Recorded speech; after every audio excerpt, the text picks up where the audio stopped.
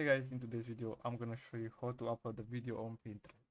So the first thing is to click on this plus sign here and click on idea pin. Then click on uh, this icon here down here and then select the video you want to upload. Of course if you want you can record a video right away but uh, for this tutorial I'm gonna upload uh, a video which I uh, downloaded from TikTok. Click on next after select the video. Here you can uh, change the color text uh, and uh, edit your uh, video as you prefer. Then click on done. And you can preview delete duplicate or add another page.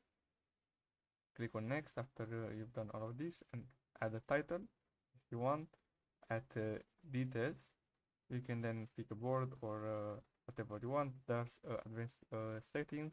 So if you want to allow comments you can do that. If you want to disable comments uh, make sure to have this turned off.